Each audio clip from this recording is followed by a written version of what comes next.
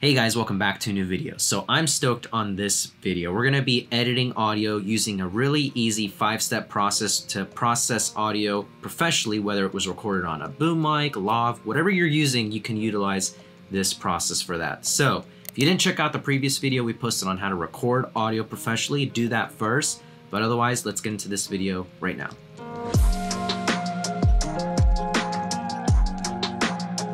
So I'm here with my good friend Wes, who is an audio professional. He is really good at this stuff, and that's why I also created this preset pack with him. If you didn't see that, we launched in the last video where we have a plus 50 preset pack with a bunch of already processed presets for your audio, and it's super valuable. But we're gonna break it down how we use this five-step process to get any audio to sound from not great to professional in editing. So the first thing I would do is always looking at your source audio, making sure it sounds good, and we just want to analyze it and say, what could we do to change this, to shape it, to make it sound better? And so the first thing I want to do when I, I jump in and I just, like I said, listen to it. So when I first got into making videos, all I would focus on is the visuals. How does the scene look, the lighting, the so everything sounds really good. It sounds like the miking placement was proper, like we talked about in the other Yeah. video. So important. So important. Okay, so now that we've analyzed our audio, what's the first thing you want to like dive into? Like what what are you going to do next? First thing I would do after that is really looking at the EQ. I would grab a parametric EQ so that we can see the audio on the spectrum. And I'm listening for things that I want to take away, any harsh frequencies that sound muddy, things that mud it up, as well as maybe possibly adding more clarity if it needs it. And it's just overall to allow your voice to become uh, smoother and Mhm. more intelligible and uh, nice and pleasant to the ear. Okay. So by coming in here, I would grab the parametric EQ in here and I would drag it here. And first thing I would do is I would probably take out um, some extra low end that's not really going to be there um, in your voice. So I'm going to turn the high pass filter on and I'm going to make it around 90 hertz. And let's hear, you probably won't hear much, but let's hear what that sounds like. So when I first got into making videos, all I would focus on is the visuals. How does the scene look, the lighting, the background, while all that's... It's not doing a ton, but what it is doing, if you have a sub range frequency or headphones that you're listening on, you can probably hear it's just cutting out um, any sub range coming through, possibly some room noise, that Mm. kind of stuff. Okay, cool. So what's next? Next thing I would do is add a little bit of high end, anywhere from 5 to 10K, and that's going to add a little more clarity to your voice. stuff is really important, audio is half of it, if not more important, whenever you're making professional videos. So when I first got into making videos, all I would focus on is the visuals. How does the scene look, the lighting, the And that sounds really good. Yeah, I can hear it for sure.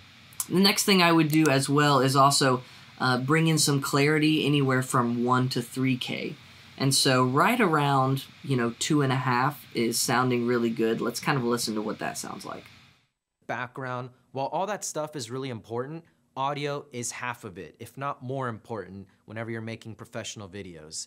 So when I first got into making videos, all I would focus So I definitely think that adds a little more. Okay. And the next step is going to be taking out some mud and just some stuff that's helping it sound a little too harsh.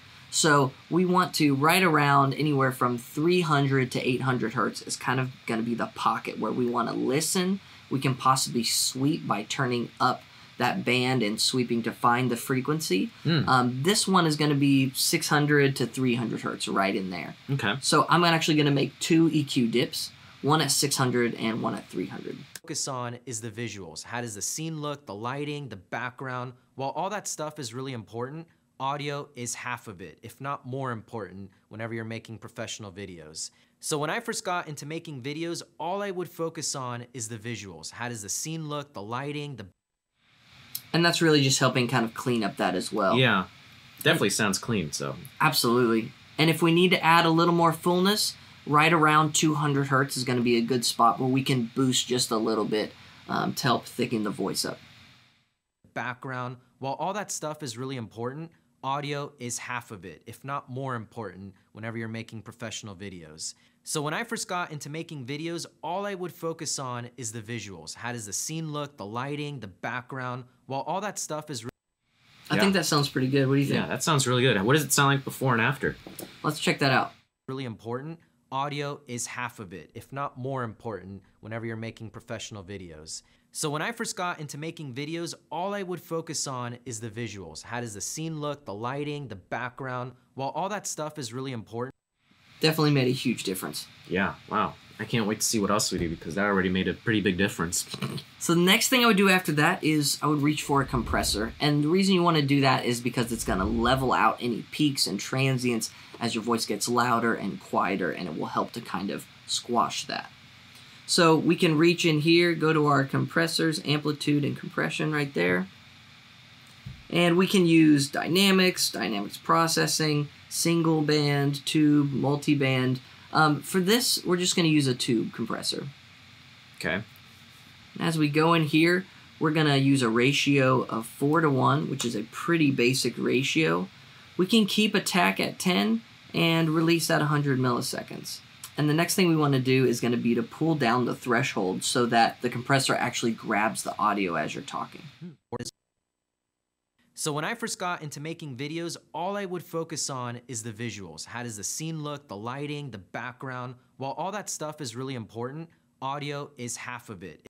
And so we don't want to grab too much, but we want to grab anywhere between 0 to negative 6 um, decibels. Oh, okay.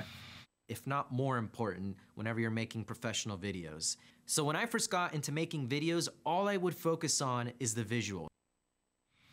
You can even do multiple stages of compression so that um, one compressor is grabbing the attack, the more front end of the transients, and the second compressor is grabbing the back end of the audio and helping bring that up. So let's hear what that sounds like. Nice. So when I first got into making videos, all I would focus on is the visuals. How does the scene look, the lighting, the background? While all that stuff is really important, audio is half of it, if not more important, whenever you're making professional videos. So when I first got into making videos, all I would focus on is the visuals. How does the scene look, the lighting, the background? While all that stuff is really important, audio is half of it, if not more important, whenever you're making professional videos. So when I first got into making videos, all I would focus on is the visuals. How does the scene look, the lighting, the background? While all that stuff is really important, audio is half of it. So let's hear what it sounds like before and after compression. Yeah. if not more important, whenever you're making professional videos. So when I first got into making videos, all I would focus on is the visuals. How does the scene look, the lighting, the background? While all that stuff is really important, audio is half of it. If I am turning up the gain a little bit on that second one, but we can actually hear that it is uh, grabbing it, grabbing your peaks and transients. Yeah. So as you hit harder, the one compressor is grabbing it and the other one's doing that. Yeah, I mean, it sounded good. well, those two things already made a pretty big difference. So, what's the next thing that you would look for? Yeah, the next thing after that is really going to be I'm going to look for a de-esser, hmm. and that is to take away some of the S's and the consonants where you have the tss, that kind of thing, and it helps just smoothen out the vocal a little more. Okay. So I come in here. Let's see, where is it? Oh. So I would come in here again under amplitude and compression, and I would hit this de-esser right here and drag it. So when I first got into making videos, all I would focus on is the visuals. How does the scene look, the lighting, the background? While all that stuff is really important, audio is half of it, if not more important, whenever you're making professional videos. So when I first got into making videos, all I would focus on is the visuals. How does the scene look, the lighting, the background? While all that stuff is really important, So what we're listening for right here is going to be just those consonants, and as you hear them, you're going to notice that they are ducked when you pull down the threshold. Okay. on is the visuals. How does the scene look, the lighting, the background? While all that stuff is really important, audio is half of it, if not more important, whenever you're making professional videos. So when I first got into making videos, all I would focus on And then if you feel like that's too much, you can always back off. Hmm, okay. Nice. So we've gone through analyzing your audio, adding EQ, compression, now adding a de-esser for those constants that you mentioned. What's the last step that you look for?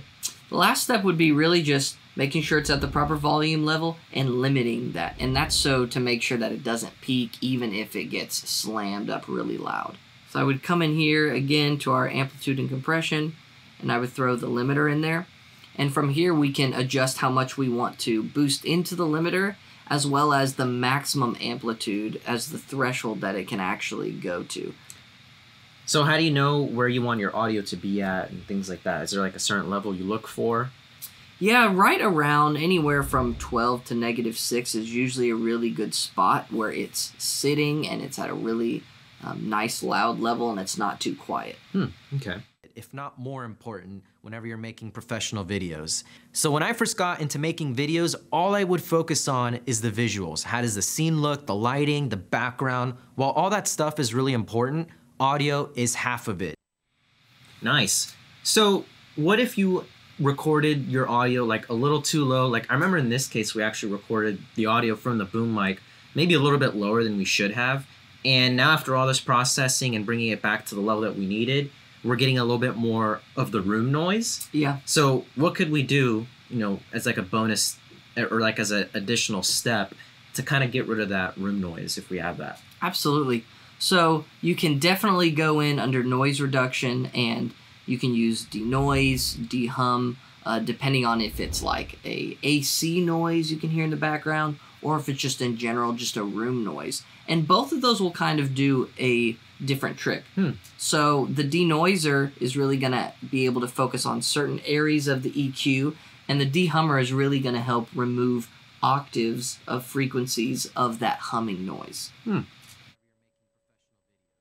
So when I first got into making videos,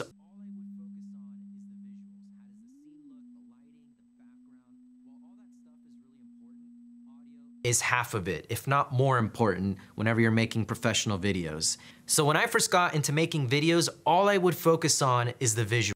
So really, we hear that very specific, and it's right around 200, but that that hum is going to be right about 238 hertz, which is also very close to the beefiness that we're adding of your voice.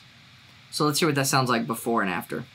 visuals. How does the scene look, the lighting, the background? While all that stuff is really important, audio is half of it. If So you can definitely tell a big difference there. Yeah, definitely. So when would you use a denoiser? What kind of situation would that be better for? If I was getting a lot of high end reflections, possibly even some reverb, uh, that would definitely be a place that I would reach for that. And the great thing about that denoiser is it allows you to say, hey, do I want to focus on the mid range? Where's your vocal intelligibility lying? It's right here, or is it more on the high end that you're trying to save, or is it more on the low end? Nice. Okay, so now that we fully have processed this, why don't we listen to what it sounded like before and after to really see what we did? Absolutely. This is it before. So when I first got into making videos, all I would focus on is the visuals. How does the scene look, the lighting, the background, while all that stuff. So when I first got into making videos, all I would focus on is the visuals. How does the scene look, the lighting, the background, while all that stuff is really important, audio is half of it. If Yeah, that's a big difference. Absolutely. so that is pretty much the five step process that you pretty much use to analyze any type of audio, huh? yeah, absolutely. And I know it can seem, I I feel like it might seem easy or difficult, but I guess it can be pretty tricky when you have to just do this process for like different mics, scenarios. You know, it's going to always change. But as long as you follow this process, you're probably going to get like pretty good sounding audio, right? Absolutely. And that's why I'm so excited on the preset pack that we launched in the last video because we essentially did all the hard work for you. You know, we tested out different mics. Here, let's look into some other examples where we can actually see the presets working in real time. So why don't we just bring up another example and drag it on and see how it sounds? Absolutely. Hey, what's up, guys? Welcome back to a new video. So, 2022, I'm excited because it's a fresh year, fresh start, new opportunities, and new vids. Man, just one click and it sounds pretty good. Essentially, all five steps that we just did, but already, you know, already done. Yeah. Yeah, so it's definitely a big time saver and they work really well. You know, we went through different mic setups like lav mics, boom mics, on camera, even mics, or even audio recorded from your iPhone, and just went ahead and pre processed all that audio and essentially using that same step process to make sure it sounds really good. So, why don't we check out another one like this podcast audio? This is a test of the Shure SM7B microphone. It's very well known in the podcasting world. It's a great microphone that is a dynamic mic, so it's going to be great for the directional audio. Yeah, that sounds so good. and that's a super popular mic, especially for podcasting. So it sounds great, you know. And that was one click drag and drop. And so that's why I just, like I mentioned, so stoked on these. If you guys are interested, you can find them in the link below. But we've gone ahead and just processed and tested out a bunch of mic setups, different mics that we pot that we use, like Rode mics, boom mics, uh, lav mics, different versions of these presets as well, and sound effects. So I definitely think you guys will love them, and just yeah, super stoked on them. So that's pretty much it for this video, guys. Leave a like if you enjoyed, comment down your thoughts. Let us know if you have any other audio tips. Would love to check them out. Subscribe if you haven't already. Would love for you guys to be part of the channel. And we'll see you guys in the next video. See ya.